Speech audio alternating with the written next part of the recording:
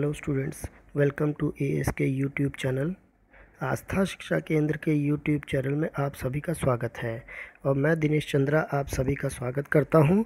और आज की जो वीडियो मैं लेके आया वो एग्ज़ाम से रिलेटेड है, जो हरियाणा गवर्नमेंट हरियाणा सरकार ने जो higher education and technical education department Panchkula, Haryana ने ये सर्कुलर जारी किया है, जो तेरह जून को इवनिंग में रिलीज़ हुआ था। बहुत सारे स्टूडेंट को शायद इससे इसके बारे में पूरी जानकारी पता होगी और जिन स्टूडेंट्स को नहीं पता है, उसके बारे में मैं पूरा, आपको पूरी इन्फॉर्मेशन आपको देने वाला हूँ इस वीडियो के अंदर।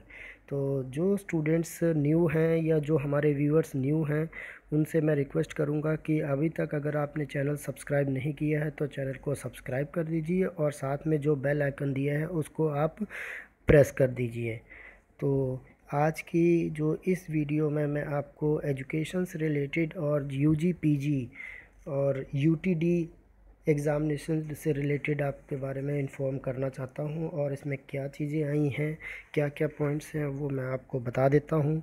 तो सबसे पहले जो पॉइंट है, वो final year all terminal examination जिसे हम फाइनल सेमेस्टर के स्टूडेंट्स के लिए बहुत बड़ी खबर है कि उनके एग्ज़ाम्स फ़र्स्ट जुलाई टू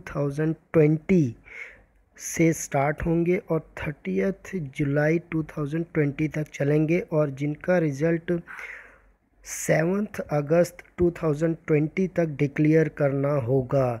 तो ये वाली पहली इसमें इस सर्कुलर की जो पहली इन्फॉर्मेशन है वो यही है कि final year final year all terminal examination जिसे हम फाइनल सेमेस्टर बोलते हैं।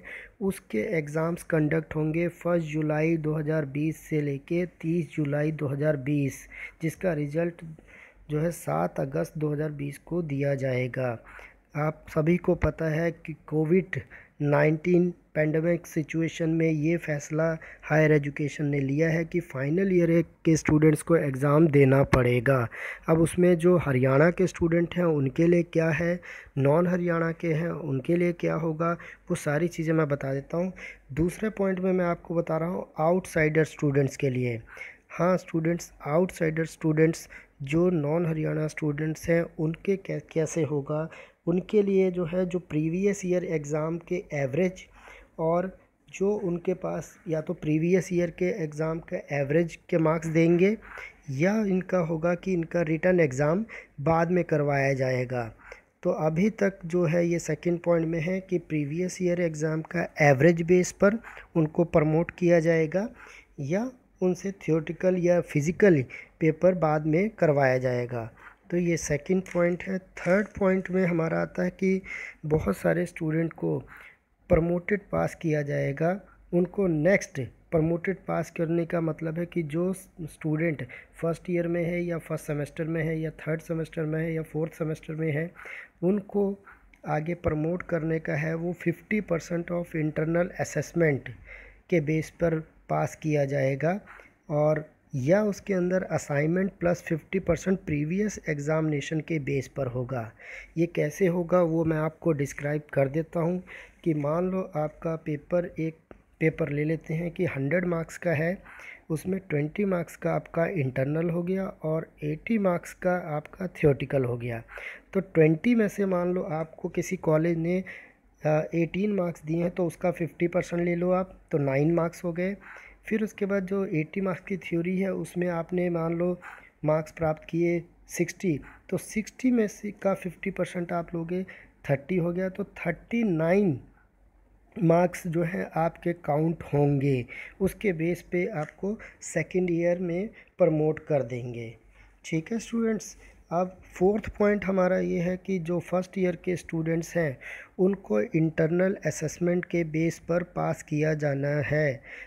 जो स्टूडेंट फ़र्स्ट ईयर में हैं, उनको हम इंटरनल एग्ज़ामिनेशन के बेस पर पास करेंगे। और अगर कोई स्टूडेंट मान लो हमारे पास रीअपियर आया हुआ है किसी का तो उसको हम सेकेंड ईयर में प्रमोट नहीं करेंगे। और ऐसा कि इसमें लिखा हुआ है कि रीअपियर वाले एग्ज़ाम स्टूडेंट्स को पेपर देने ही होंगे।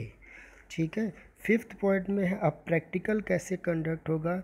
तो प्रैक्टिकल एग्ज़ामिनेशन के लिए हमारे पास ये कि जो प्रीवियस ईयर के प्रैक्टिकल के जितने मार्क्स की एवरेज है प्रैक्टिकल के प्रीवियस ईयर के मार्क्स को, के एवरेज और 80 percent of previous year theory exam इन दोनों में जो हाईएस्ट मार्क्स होंगे उनको कंसिडर किया जाएगा। यानी एक में मान लो किसी स्टूडेंट के पिछले साल प्रैक्टिकल में उसके मार्क्स आए हैं एटी परसेंट और थ्योरी में उसके मार्क्स आए हैं मान लो फोर हंड्रेड, ठीक है? तो फोर हंड्रेड का एटी परसेंट कितना होता है? फोर हंड्रेड का एटी परसेंट तो तीन सौ बीस तो चार सौ चार सौ और दो सौ और तीन सौ बीस तो जो इसमें से ज़्यादा होगा उसके मार्क्स लिए जाएँगे। तो यानी जो प्रीवियस ईयर के एग्ज़ामिनेशन है और 80 percent theory exam previous year इन दोनों में जो हाईएस्ट होगा, जो ज़्यादा मार्क्स होंगे, उसको कंसिडर करके फाइनल ईयर वाले स्टूडेंट के प्रैक्टिकल के मार्क्स लगाए जाएँगे।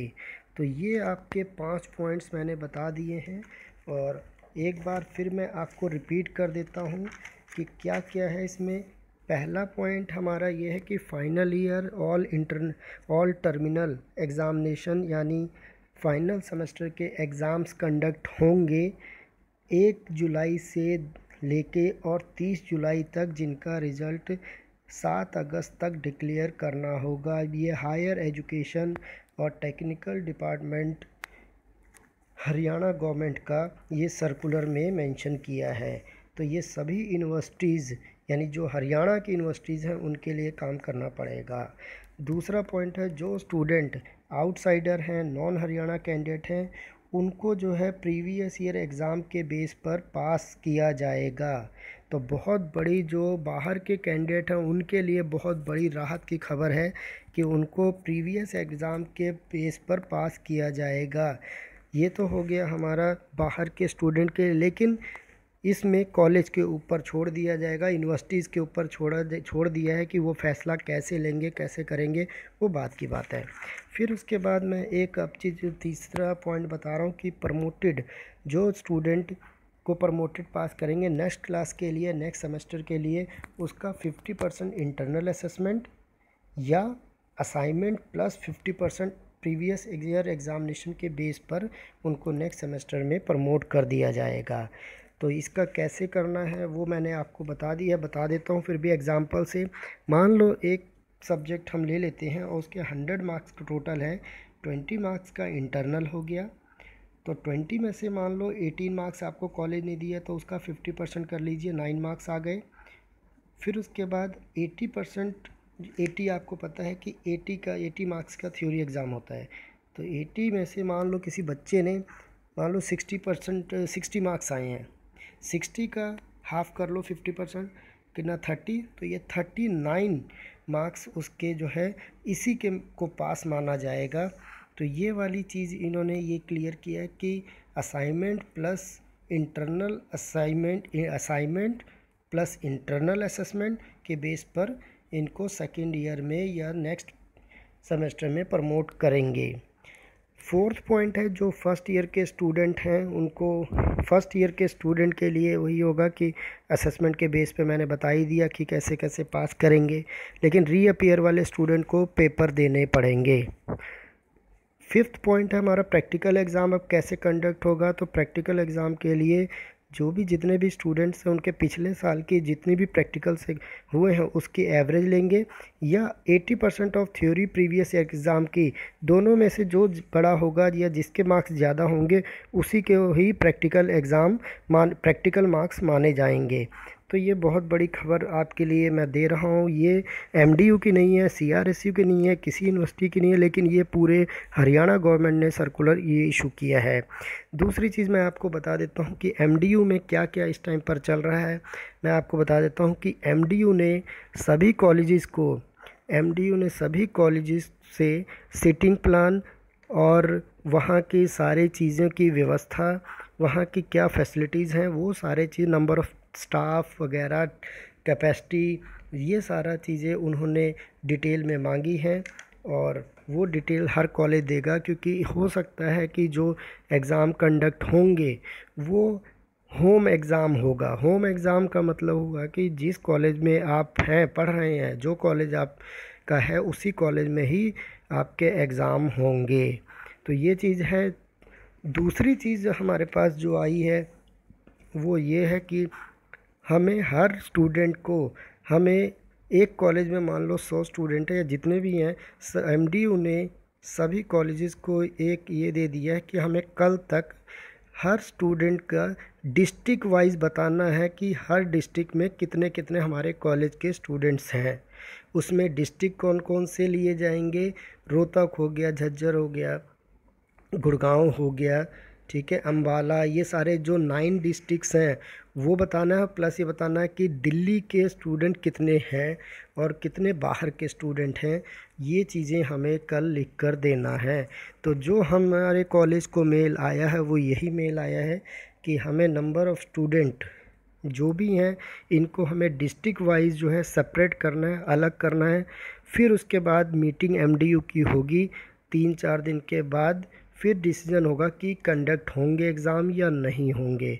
तो ये बहुत बड़ी खबर तो नहीं कह सकते, लेकिन जो बाहर के स्टूडेंट्स हैं नॉन हरियाणा के स्टूडेंट हैं, उनके लिए बहुत बड़ी खबर, खुशी की खबर बन सकती है। वो हम जब भी सर्कुलर आएगा तो उस सर्कुलर को मैं ज़रूर आप तक पहुंचाऊँगा, जल्दी से पहुंचाऊँगा। लेकिन आप अपनी स्टडी को अभी स्टॉप ना करिए, आप स्टडी करते जाइए, क्योंकि कब रूल होगा, कब नहीं होगा। हो सकता है ये भी रूल आया है कि हो सकता है जो हमारे एग्ज़ाम होने हैं बीएड के फ़र्स्ट ईयर के तो वो अभी ना करवा के उनके एग्ज़ाम दिसंबर या जैन में करवाया जाए। तो ये सारी चीज़ें क्या होगा, कैसे होगा, अभी बहुत सारी एमडीयू जो है पूरा इसके ऊपर सर्कुलर तैयार करने में